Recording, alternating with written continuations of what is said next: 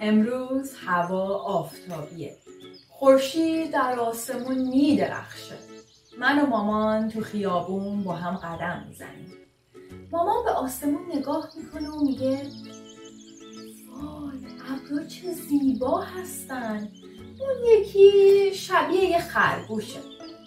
من به آسمون نگاه می‌کنم و میگم نه شبیه یه خرگوش نیست. شبیه یه اردکه. مامان میگه ای وای آسمون رو نگاه کن. من نگاه می‌کنم و میگم ای وای ابرای سیاه. مامان میگه نه اینا ابرای سیاه نیستن. این یه ببر سیاهه که می‌خواد اردک ما رو شکار کنه. من و مامان سمت آسمون فوت محکمی می‌کنیم تا اردک دور بشه.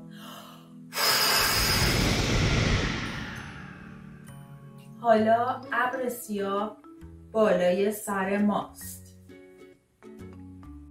هوا دیگه سرده.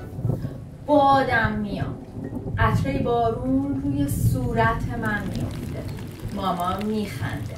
کلاه کاپشنم و سرم می‌ذاره و چترش رو باز می‌کنه. میگه این نم نم بارون کم کم شدیدتر میشه. اون دورتر برقی آسمون رو روشن می‌کنه.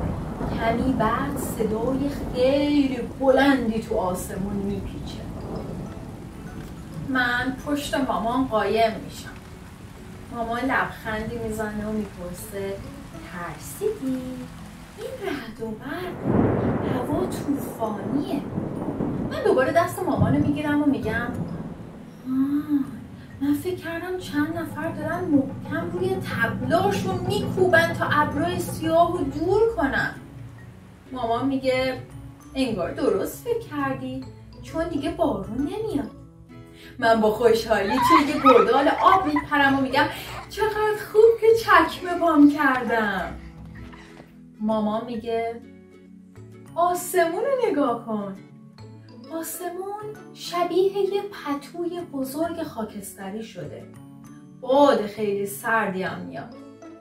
مامان میگه این سوز برفه. دونه های درشت برف زمین رو میپوشونن. من از خوشحالی جیغ می‌کشم و از ذوق چند بار بالا و پایین میپرم. من برف رو خیلی دوست دارم. صورتم رو رو به آسمون می‌گیرم و سعی می‌کنم با نوک زبونم دونه های برف رو بگیرم. مامان از ته دل میخنده. میگه این اولین برف امساله. مامان هم برف رو خیلی دوست داره. در راه بازگشت به خونه ماما می‌پرسه اگه گفتی الان که برسیم به خونه چه کاری خیلی کیف میده؟ من کمی فکر می‌کنم و میگم اینی که زیر پتو بریم و شیر گرم بخوریم.